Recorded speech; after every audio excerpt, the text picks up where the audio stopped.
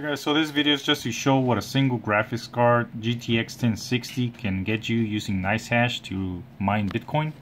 So results can vary anywhere from $1.20 to $1.91. That's what I've been seeing. And this is day three of using NiceHash to mine Bitcoin with this graphics card. So this video is just to show uh, what the results are going to be using your single graphics card.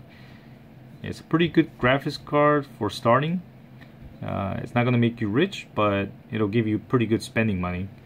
You're going to see about 40 to 50 dollars at the end of the month.